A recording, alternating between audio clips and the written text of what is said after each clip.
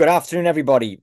My name is Barry Colfer, and I'm the Director of Research at the Institute of International and European Affairs in Dublin.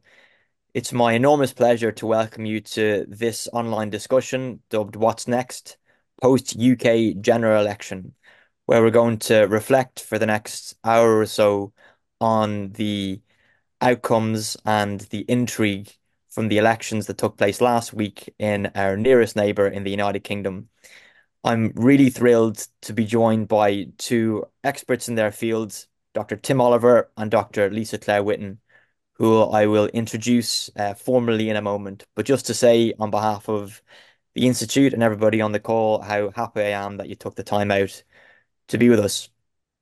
So, the format for this discussion is going to uh, differ a little bit from our, our typical lunchtime seminars, but not too far that rather than asking Tim and Lisa to deliver a 10 to 15 minute stump speech, uh, as interesting as that would be, we're just going to head straight into more of a back and forth bet between the three of us. So we'll have a couple of questions just to, just to try and delve into a little bit what happened last week, and indeed, in keeping with the branding of this this event, what happens next, what this might mean for the peoples of the UK, and indeed for its neighbourhood. Mm -hmm. The usual uh, uh, rules and details apply. Uh, this event is on the record. If you wish to participate by asking a question, please do so using the uh, Q&A function on Zoom, which you should see on your screen. And if you wish to participate in the discussion online, you can use the Twitter X uh, handle at IIEA. So I'm going to briefly introduce our speakers. Dr. Tim Oliver is a leading expert on Brexit, UK politics, and foreign policy and international relations. Dr. Oliver holds a PhD from the LSE, uh, which looked at the nature of the UK state and how it makes foreign policy. Tim was a senior lecturer in the Department of Defence and International Affairs at the Royal uh, Military Academy Sandhurst. he was also a transatlantic postdoctoral fellow for international relations and security, TAPIR, based at the Stiftung Wissenschaft und Politik in Berlin, the Center for Transatlantic Relations at Johns Hopkins University School of Advanced International Studies, and the RAND Corporation in Washington, D.C. Tim, great to have you here, albeit digitally. Dr. Lisa Claire Whitten is uh, also known to many of you and is known to the Institute. Uh, Dr. Whitten is a research fellow at Queen's University Belfast, specialising in the legal, regulatory, and constitutional implications of Brexit particularly looking at Northern Ireland. Prior to entering academia, Lisa Claire held a variety of posts in the public sector, including working for an MP in Westminster and at the office of the Northern, Ireland Executive in Brussels. Lisa Claire has recently published two books, both on the subject of the Northern Ireland Constitution, entitled Northern Ireland and the UK Constitution and Brexit and the Northern Ireland Constitution. Are they both with Oxford? The second one is with Oxford. The first one you mentioned is House Publishing, and it's a shorter read. I wouldn't recommend anyone really goes for the OUP. Yeah. but I should um, say that's great. cool, but congratulations, they're two great citations. I'm going to start now, if I may, by uh, turning first of all to Tim. And Tim, predictably, I'd like to ask, uh, first of all, where were you last Thursday when you watched the election results? Were you any, anywhere interesting, J just at home, or were you at work, or where? I was at the LSE's election night, which they host every election. I've been to quite a few now, given the last few years um, and, and referendum. So yeah, I was at the LSE um, listening to their takes on the on the night. Although I didn't, I didn't before, before, yeah, I think we all, I'm sure many people on the call and, and, and you two as well had to make the call whether you're going to stay up or not. And just out of sheer habit, I decided to stay up, but it was not as exciting as any previous election that I can recall. But before asking you, Tim, if there are any main takeaways, and I'll turn to Lisa and ask the same question. Can you just describe the the atmos in the atmosphere in the in the in the LSE? Was there anything particularly notable, or was it because of the predictable nature of the results? Was it kind of flatter than you might have expected? Okay, one thing I noticed, um, I turned around to watch to watch the crowd while also watching the, the screen when the exit poll came up. Um, and I noticed a large number of people had their cameras up to try and film the reaction of the crowd because they were expecting some form of big kind of like ooh or big screams or lots of yells of delight. And actually, it was quite more muted. Now everybody was not surprised at the big scale of the result, but there wasn't the enthusiasm, shall we say, or the delight and the screams of joy that some might associate with the LSE, given its more left-wing reputation. Although that's unfair, the LSE also has a very right-wing reputation as well. Um, and I think that connects to my first my first big first observation about the result, which is while there was a strong degree of anger and contempt at the Tory party, there wasn't the matching enthusiasm for the. Labour Party, shall we say. Um, and I saw that firsthand um, at the LSE's election night. Mm-hmm. It's been said uh, a couple of times. Um, I've heard that this wasn't necessarily an election that Labour won, but in fact, it was an election that the Tories lost. I think that's a little bit unfair because there was some really impressive vote management with the Labour vote share yes. across the United Kingdom. But do you have any, any anything to say about that uh, contention? Yes, that's right. Labour ran a much more focused campaign just like the other big winner of the night, which was the Liberal Democrats, who were very ruthless in focusing their resources on a certain number of campaigns and having their lead, leader, Ed Davey, run a national campaign with lots of kind of stunts. Um, Labour were much more ruthless, which you can see in just the share of the vote didn't actually change that much, mm. but the seats they won did. So, yes, they, well, what should we say that the Labour didn't necessarily have to do um, as much in terms of kind of really pushing themselves out there to, to lots of floating voters like you might have in the past, because the Conservatives made such a mess of themselves and have really been kind of um, struggling in the polls now for the past two years. Um, Labour therefore carried that, the Ming Vase strategy is called. That's not easy to give them credit. Plus, they also have shown over the last few years that they're a much more disciplined, effective party. Starmer has brought discipline whether or not you like that or not, some of the people on the left of the Labour Party, especially, are not happy with this. But he seems to have brought discipline and order that has made the party look like it's a functioning party of government rather than a party of opposition that will just say things just to score points. So that's not easy. But again, that hasn't generated the level of enthusiasm and delight that, say, we were expecting on a par with, say, 1997 or even 1945, when the last times that we've seen big Labour um, landslides. That doesn't mean, however, that as we move forward, a lot of people will say to themselves or start thinking, "Oh, I voted for the Labour Party. I voted for you know for that landslide," when in fact they didn't and they weren't as enthusiastic. So perhaps with time, things people yeah. might sympathise a bit more with it. But that that thrill that you might have seen that I remember as a, as a teenager from 1997 wasn't quite there. Mm. Indeed, and we are we're to- it's always to be handled with care. We're talking in the the white heat of post uh, post election, so it's fun to talk about it, but it's also very useful, Tim, to think about that what the next weeks, months, years may in fact mean. Mm. I'll come back to you on some of the takeaways in a second, but to put the same question to you, Lisa Claire, if you don't mm. mind my asking, where were you watching the results? Was it just at home like I was, or did you attend any kind of a event or gathering?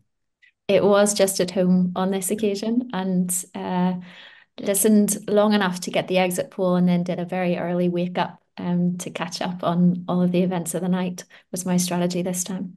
Mm. And given so you were you were in in in in Belfast where your vote is. In Belfast, um, yes. Any any kind of major takeaways that you might like to share from, from that part of the world to to complement or indeed challenge anything that Tim has shared? Mm. Um, I would say definitely compliment. Um, overall picture, and then I'll use this to uh, jump into the NI specifics. I think you could frame this election to an extent as failure of incumbents. So mm-hmm. the Conservative Party just, as we've just been discussing, that real sense of their loss um, a Labour gain, but nonetheless, and the same goes for the SNP in Scotland and that sort of real hit to the incumbents um, and there are specific circumstances that apply there as well. But in the Northern Ireland setting, then, um, while it's not as clear cut because Northern Ireland is, as ever, uh, structured somewhat differently, and you essentially have two electoral um, blocks traditionally, a rising middle, but in the DUP setting, that sense of incumbents losing out um, is quite strong and clear uh, the DUP losing three seats to three different um, opposition uh, uh, opposition parties and independents. And then on the other side of the coin, which is the other side of the split, you had a quite a clear win for Sinn Féin in that they held all of their seats um, with vote share increases. Um, so it's it's a mixed picture for Northern Ireland in general.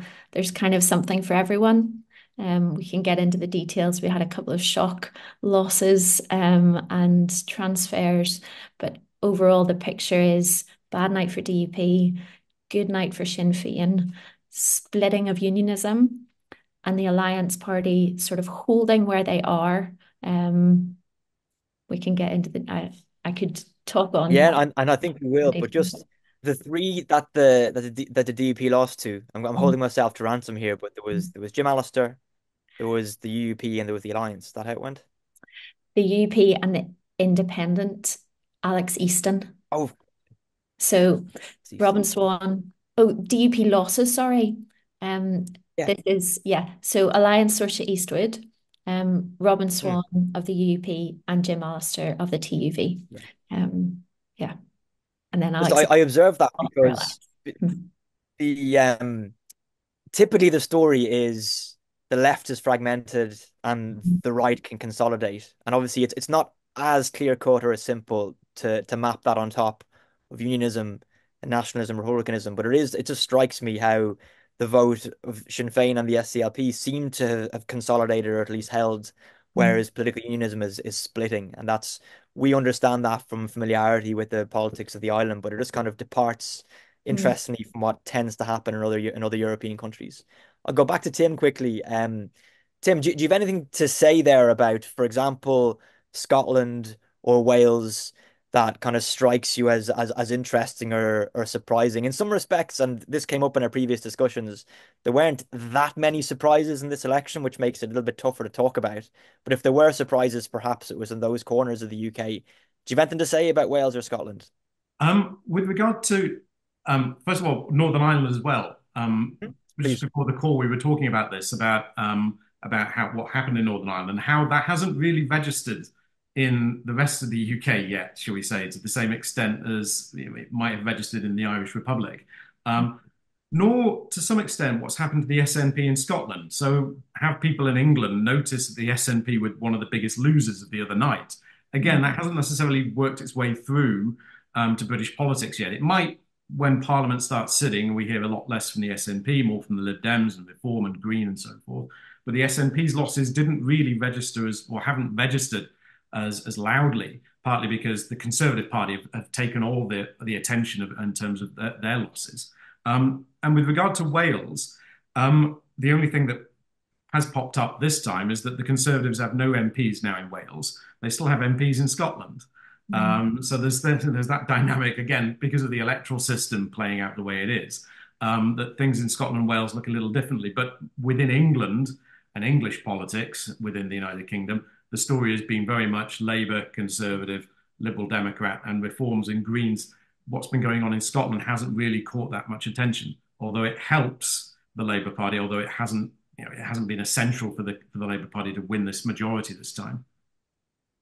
Mm-hmm. I have picked that up as well a little bit just from my obsessive consumption of, of British news. I think you're right about the, the major change in Scotland not being as fully registered as it might have done. Is it purely down to the the collapse of the Tory vote that has kind of taken attention away from it, or is there anything else you could put your you could put your finger on? Part of it might be um, in the past the SNP or the possibility of the SNP succeeding has been used, especially by the Conservative Party, to label well to to accuse the to target the Labour Party with you're going to be um, beholden to the SNP's vote. With that disappearing, it's not an issue anymore. Labour doing Labour have a secure, stable majority. They're not going to be beholden to the DUP, the SNP, or anybody else, or even Reform. Um, so the idea of these small parties from other parts of the United Kingdom now having a, a kind of a large part in British politics through Westminster, that's gone to the side. So it's not an issue at the moment. Um, what will come back, of course, is the investigation into what's happening at the SNP or has happened in the SNP because of its finances. That corruption story will come up again over the next yeah. year. Um, and of course, as anyone who studies Scotland knows, and as the SNP have been pointing out, support for independence hasn't necessarily gone away. So mm-hmm. while the SNP might have collapsed, so the possibility of Scotland being a constitutional issue has certainly not receded. Although for this Parliament, it will be very difficult to see it coming back as the SNP try to work out what to do next. Mm. And if, if there's, please, please, Lisa, I was about to invite you in, please. Uh, just uh, by way of follow-up on that, I think there's something interesting to be said about the new discrepancy between the political representation for Scotland in particular, but this goes across the board at devolved level versus those who represent um, that part of the UK on the green benches in Westminster and how the Labour Party in particular navigates that. Um, we haven't seen in a long time for uh, decades, we haven't seen the Labour Party having to be both the Labour Party in Scotland and the Labour Party um, in Westminster in the government. And that central devolved axis over the last few years has been one of real controversy and division, um, not least in the context of Brexit and returning powers.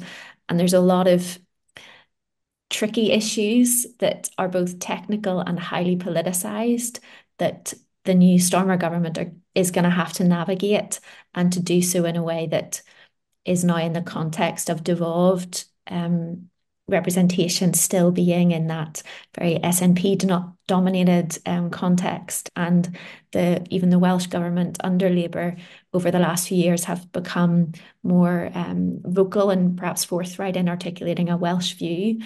And then you also of course have the Northern Ireland particularities and um, how that plays out in terms of constitutional picture, any talk of reform or restructuring of intergovernmental relations is it's it's a big topic area um, amidst a long to-do list for the new government, but one that's of interest, I think. Now we're talking. This is the sort of stuff. Please, Tim. I was gonna I was gonna ask if you might have anything to add, Tim, regarding well.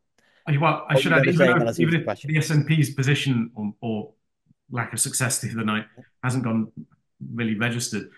Where has Starmer's first visit been to? It's been to Edinburgh and then Cardiff, and today he's hosted all the metro mayors from London and Manchester and so forth. So he's more than aware of the governance issues of this, even if the politics has not necessarily cut through.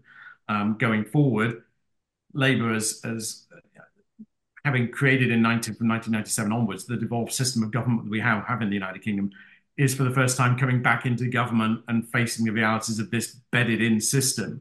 And let's not forget, when it did set this up back in 97, there was a degree of, well, can we let go of the control? Can we let these devolved governments do their own thing? Whether it was in Mayor with the Mayor, with Ken Livingstone or, or in Scotland or Wales, there was a lot of pushback. So that's something Starmer's going to have to struggle with over the next few years um, because Labour will want to do things from the centre, just like any government does.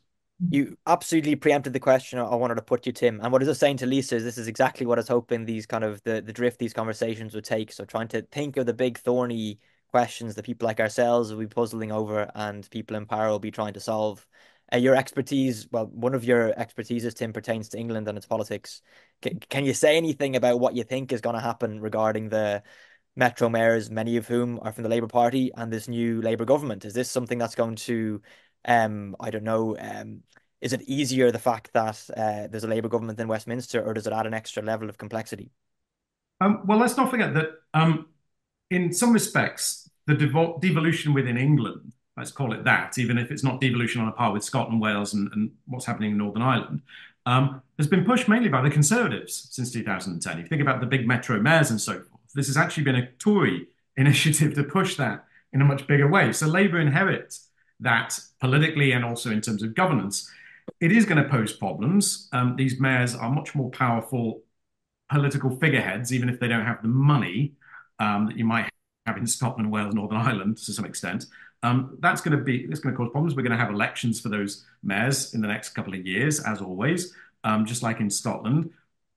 You can see the potential there for pushback um, from these mayors, such as Andy Burnham, who do level sometimes in picking fights for obvious reasons. They want to represent Manchester versus central government. Sadiq Khan has struggled with this of distinguishing. It's not. I, one of my little bugbears is when people talk about London, forgetting that London is a city of almost nine million people mm. with a mayor and a political system itself, and doesn't represent isn't represented necessarily by Westminster, um, and often gets a bit of a hard time um, from Westminster, even if London is one of the beneficiaries often of, of UK politics.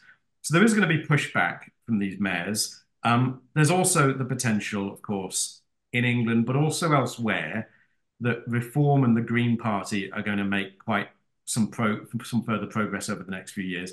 The Lib Dems, especially, the Conservatives as well, will they start to rebuild themselves through these metro mayors, through local government and so forth? That's one of the few ways back that they'll have. What message they're going to send, God knows at the moment. I mean, the Conservative Party um, doesn't know how to stand up at the moment, let alone how to walk forward um, with its policy proposals. But yes, within English politics, we're going to see a lot more variation compared to when Labour came to power in 1997. Mm. There are uh, a lot of questions coming in from the audience. I'd encourage you to anyone on on the call to put in your questions. We'll get through as many of them as we can.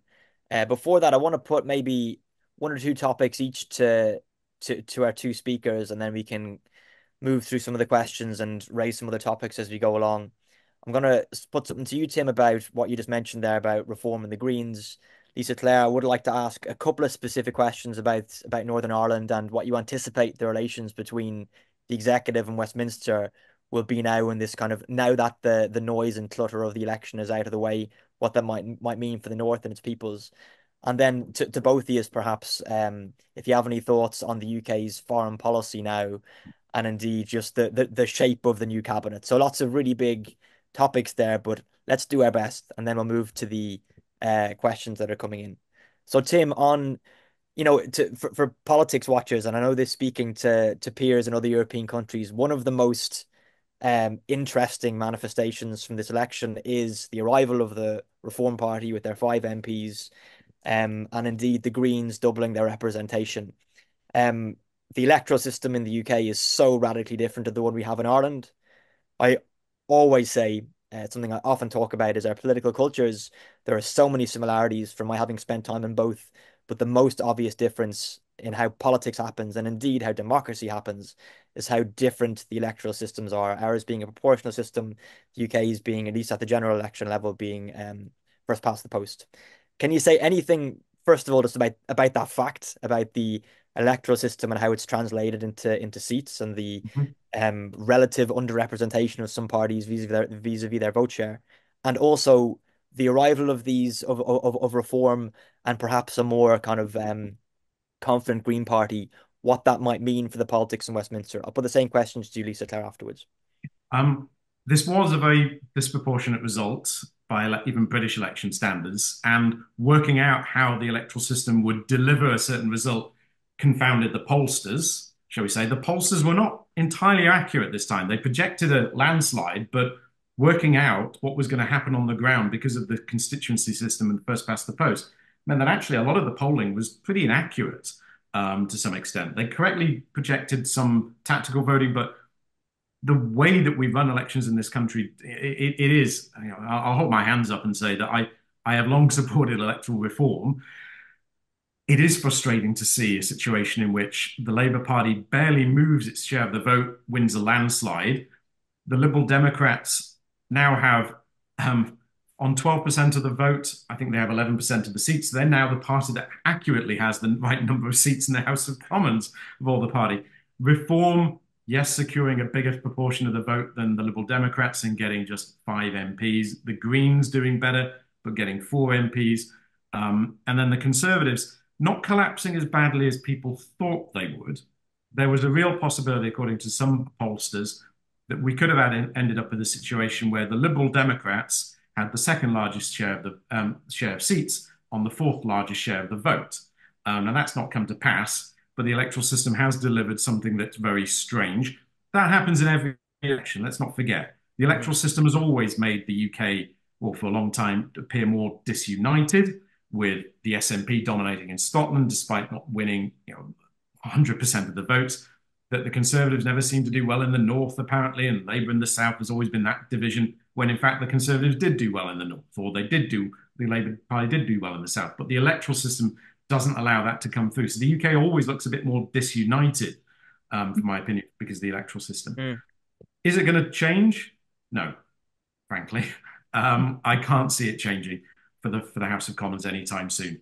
Maybe we'll go back to PR for mayors. Mm. Maybe there'll be electoral change in local government where everyone's a winner if that happens. But the electoral system for the House of Commons changing, not a chance, not with a landslide majority like this for the Labour Party. I'm, I'm totally with you. And I'm going to ask the same question to, you, to, to Lisa Claire. But before that, the, the arrival of reform uh, with its five MPs uh, out of 650, similar similar in size to the DUP, for example. Yeah. I think seat more, seat or the same, in fact. What's it going to Um, do to British politics, if anything? okay. It, it does give Nigel Farage a platform that he's been lacking since he was in the European Parliament. Um, it does, however, mean that he's now stuck in Britain. He can't really go off campaigning in the United States as he was planning to do.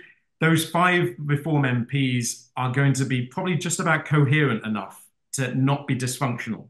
One of the things that people warned or kind of thought might happen is if if Reform won about 15 MPs, well, how many would have been sacked, resigned, or convicted by the next election? Because if you look at how UKIP did in the European Parliament, it was a very dysfunctional body. So those five MPs, probably just enough to hold together. Are they big enough to perform the reverse takeover of some have been talking about of the Conservative Party? Well, the Conservative Party did better than expected, still did very badly. Um, and the right of the Conservative Party, people have been picking over the pieces of what's left of the Conservative Party, the right in the Tory Party did a lot worse. There's actually a, a lot more of the left or the liberal side of the Conservative Party that have survived. So there could be a real fight um, on on Reform's hand over the next few years if they try to kind of push more on the Conservative Party. The Conservative Party might push back more than than we were expecting. But with five MPs, they're here. They're going to be making a lot of noise. The media are going to be obsessed with them more so than the Green Party to some extent, um, you know, fairly or not.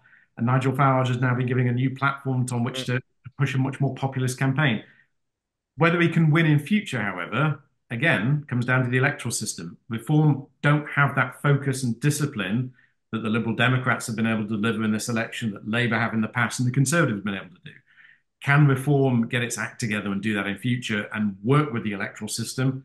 Well, we'll have to see, I suppose. I, um, I'm not confident personally. I, I remember I was around the European Parliament and I was wondering if you'd mentioned that when uh, as UKIP grew, it became very difficult to to hold it together and anything anything you could, you could call coherent. So five feels like if you can fit in a taxi, you can probably you can probably manage. But um, very interesting observations. Lisa Claire, do you want to share anything in, in the same tack? And also, so I don't so I don't interrupt you. Uh, anything to say just about um, similar movements in the north? Obviously, with the arrival of a new kid on the block in Westminster politics, the TUV. Any any thoughts to share?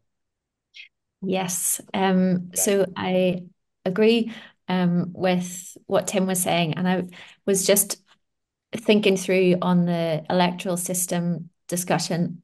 I'm also 100% an advocate of reform, but I also truly do not expect it to come anytime soon, um, not least given that the Labour Party has just um, gained a landslide victory on the basis of minimal vote share change. And um, that in itself tells you all you need to all you need to know, um, perhaps. But I do think there's something interesting when we look at the vote share discrepancies as to in the medium term how that affects results in devolved elections and in local elections um, across the UK in future. So the Reform versus Lib Dems is like a really good example, I think, to make the point where you have the Lib Dems who are very well organised and embedded at a local level. They are ruthlessly strategic when it comes to operating a first past the post system with their minimal resources. And they have achieved, um, I think, yeah, 12% vote share and 11% of the seats versus Reform, much newer party, much less embedded, don't have a strong, um, comparatively strong local election representation, and they're on 14% of the vote share and 1% of the seat representation. The question is then begged where does reform go from here in terms of local and devolved representation? And can they um, pull together and become a, a significant force, or are they more on the level of sort of strong mouthpiece and protest uh, voice in the um, UK landscape? And I think that also then speaks to what that Nigel Farage and reform um, representation in Westminster does depends, I would suggest, more on how the Conservative Party reacts to them than necessarily what is said, because we can sort of expect what will be put forward. Um, I can see Tim's going to say. I see Tim wanted to get in, and, and yeah. I, I want you to spark off each other. So Tim, please. Yeah. Oh, no, no, no, Go, go ahead. It's just I, I have something to add. So go okay, go perfect. I'll quickly say that I think um you could you can make a parallel for the um Northern Ireland situation in terms of the TUV now being in Westminster. Um, and so Jim Allister will be uh, he will be a strong voice as he has been in the Assembly for years and years. But what will determine its impact more broadly, I think, is how the other unionist representatives in Westminster for Northern Ireland respond to that and whether or not, because we one of the big takeaways from Northern Ireland is the splitting of the unionist vote. Um, and that's interesting in our history because there's been um, such a strong narrative of unionist solidarity from way back. I mean, 1920s is where you could go to get the origins for that. And so how from this point forward in the Westminster setting, the new diversity of unionist voices plays out, both in terms of um, the sort of presentation of what unionism is to the rest of the UK. That that's going to change because up until this point we've had a very um, strong and sole uh, DUP voice over the last few years since the loss of Sylvia Hermon, but also what that does to more local politics in Northern Ireland in terms of being able to unite the vote. But it's that sort of more extreme voice. Its significance, I think, is determined by how others respond to it um, that are in the similar part of uh, the electoral spectrum. What would, what Before Tim comes in, Lisa, could you could I just push you to answer your own question a little bit if you feel comfortable to do so. In terms of the options at, at local level, I think what you raise is extremely interesting regarding the Reform Party and indeed regarding political unionism in the North. What are the what are the options exactly? Like which which ways could it go without having to um, you know, place a bet? What, what are the possibilities?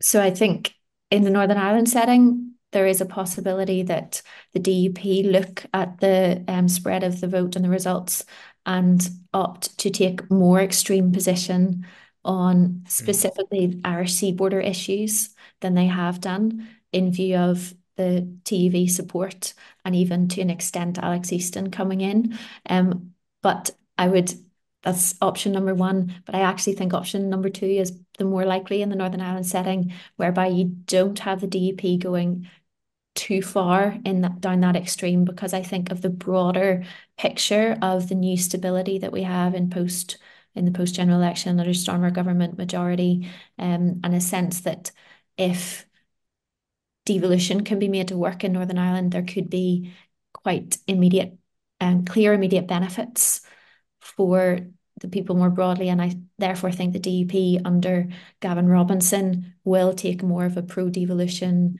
and may use some uh, sort of negotiating lines around the impact of our sea border and the future of Northern Ireland, but won't take it to collapsing the executive. Essentially, I think that's been disincentivized by this electoral result.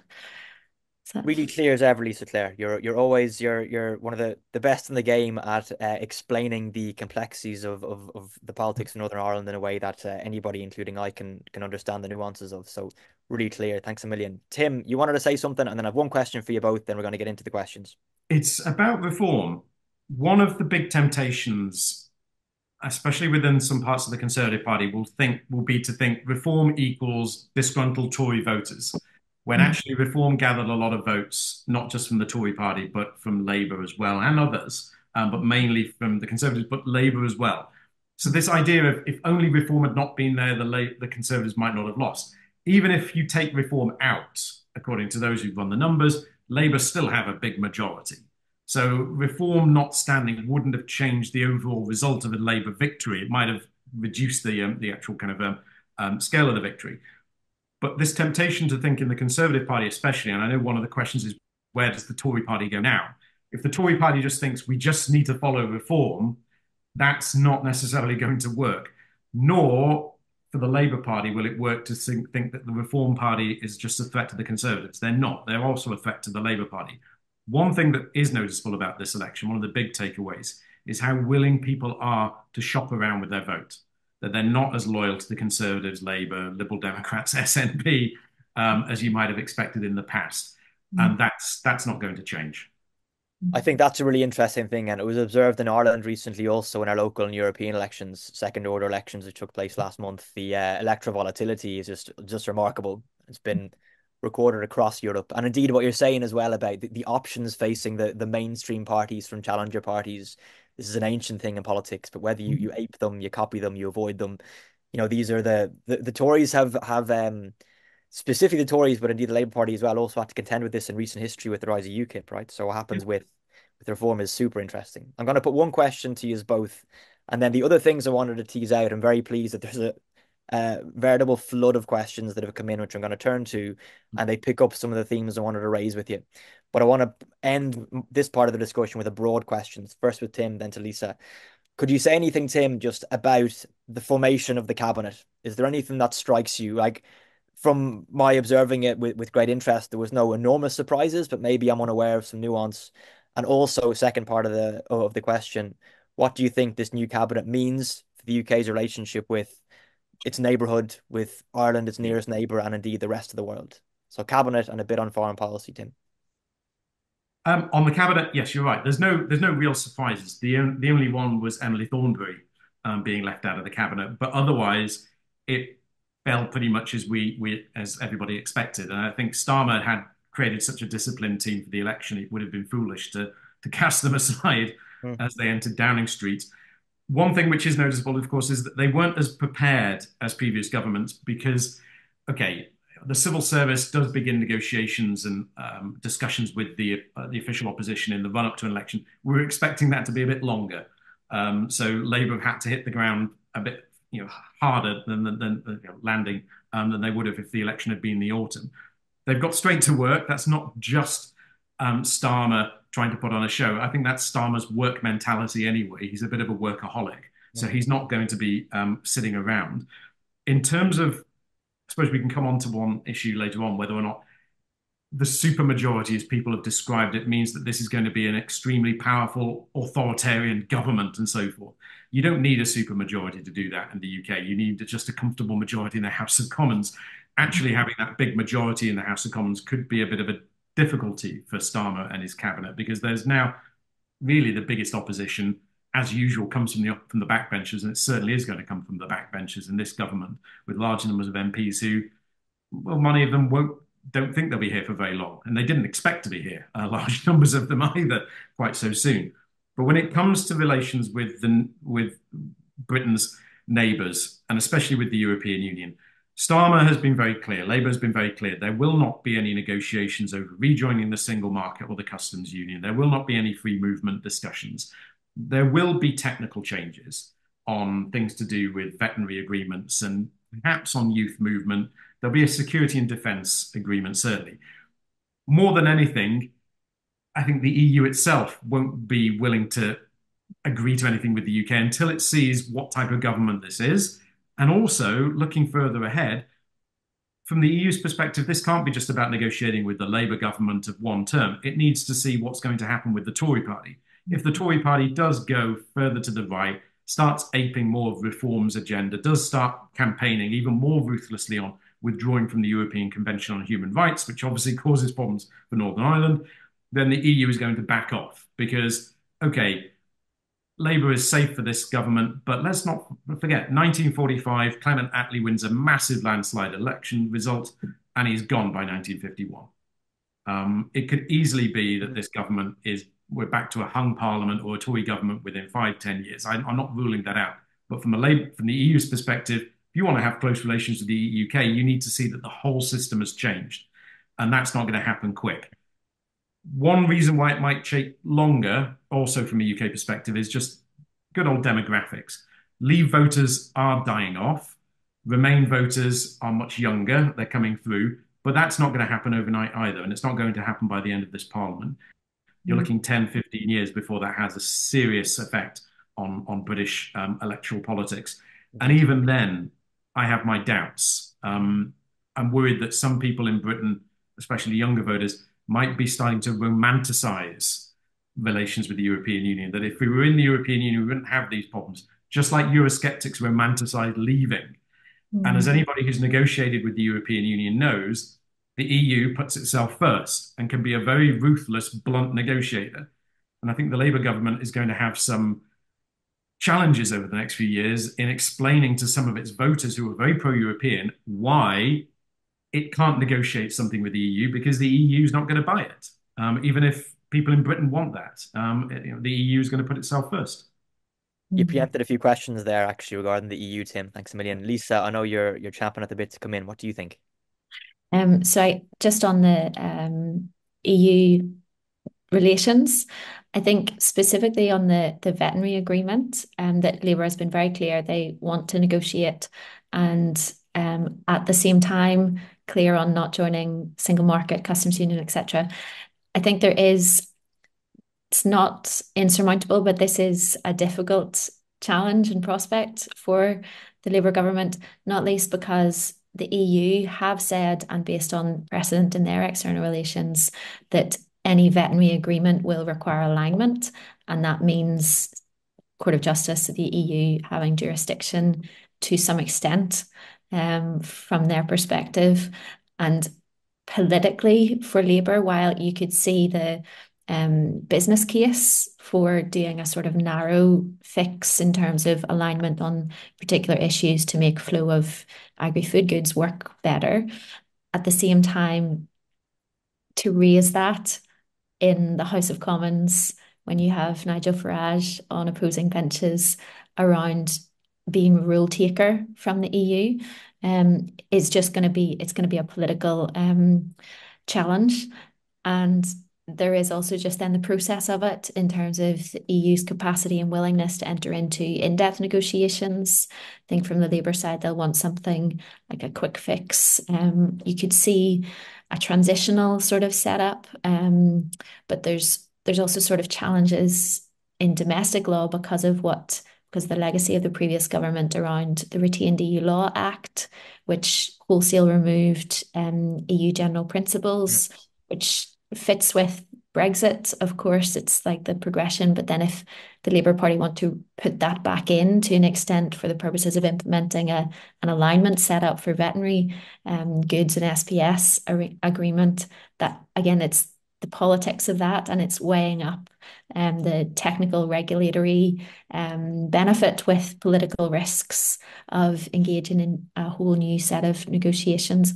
Obviously, from a Northern Ireland perspective, everyone is on board for an SPS and veterinary agreement with the EU because that makes the Irish Sea border less visible. But as Tim was also saying, the EU is changing. Um, and what comes through in terms of the new uh, commission will be important as um, from a UK perspective because nearest neighbour, biggest trading partners, and also within the politics, intergovernmental politics of the UK, because in particular Scotland and its policy, the Scottish government's policy to align with EU um, by default where appropriate. That's really politically strong in the context of a deregulatory conservative UK government started under Johnson. Um, but when it's a Labour Party that's seeking more alignment and that it's maybe a bit more nuanced when it comes to external relations and trade relations with the EU, um, I think the picture becomes messier. I could talk on and on about that. could. Jump I wish you could. But you're making me think of something, um, Lise Claire, that I'm from speaking with peers, so other think tanks across across Europe and beyond that we talk about, there's there's just kind of a sense of expectation that this new government, uh, given the fact that it doesn't have the same baggage as the last one has for the past 14 years, and just kind of Starmer's nature of being a bit more managerial, a bit more pragmatic. There's a sense that hopefully some of the kind of most, I don't know, the, the, the trickiest bits of politics we all remember, we still all wake up uh, in cold sweat thinking of the indicative votes in 2018, 19, whenever it was, for example, that, you know, just the fact that, you know, there's a different tone being set even in the early days of this government. There's a bit of an expectation that things may be easier when it comes to SPS and other really important but administrative matters. I'm going to go to the questions, Lisa Claire, but I want to ask you first if you have anything to say, and you can say you don't, just on the composition of the new cabinet. There was no great surprise who the SOSNI, the, the Secretary of State for Northern Ireland, is. Um, but do you, uh, anything to say on Hilary's Benn's appointment or anything else regarding the cabinet? Um, nothing much to say, just on um, Hilary Benn's sort of remaining in post, I think that's a very positive indicator. And um, even just uh, the Prime Minister was in Belfast this week as well, and all of the language coming in terms of the relationship between central government and the Northern Ireland executive is is very positive. And and I would say overall, I mean, not to understate the um, benefit of a sort of positive and constructive approach to dealing with Northern Ireland in particular, coming from Westminster, that that is not something it's been more contested for the last few years. So um, that is to be welcomed. It also obviously will come with expectation management in terms of delivery. Um, the, the the Prime Minister, as we need to start calling him, of course, um, Prime Minister Starmer often cites his experiences in Northern Ireland, where you can correct the exact term, but he was an advisor to the police board, I think, on human rights matters, Lisa Claire. Um, I don't know whether that's him sincerely saying one of the reasons I got into politics was my was the experiences I had there, or was he just trying to create a narrative for himself as a national politician? Do you, do you have a sense on, on how meaningful his engagement with Northern Ireland has been? I can speak to his early experiences in terms of motivation into politics, but I do know that um, his engagements when he's been here over the last few years has been the the reputation is that he is he's well versed. Um, he is uh, aware of some of the just basic challenges and and necessary nuances that you need to have sometimes when it comes to Northern Ireland discussions and and debates and understanding from different perspectives. So I really do think that's a, a very valuable asset for him engaging as Prime Minister for Northern Ireland because it like a lack of institutional knowledge has been something that has been difficult over the last few years, particularly. Um, so I do think there's a there's a realness of um, his uh, sentiment and understanding and experience of Northern Ireland, and we see that in particular in terms of, of how that plays out or impacts on policy. The position on the Legacy Act um, is notable, and there has been a commitment to get rid of the effective amnesty. So we'll see if and when that comes through, and also around um, just a a niche Northern Ireland one, but everything to do with Casement Park at present and all of the associated challenges is something that requires that understanding of where the different positionalities are coming from and to navigate that, that it isn't just a budget issue to fix. And I think Hilary Benn is well placed to do that under Starmer's leadership. So um, we'll see how we go, but it looks looks pos more positive than it has been for a long time.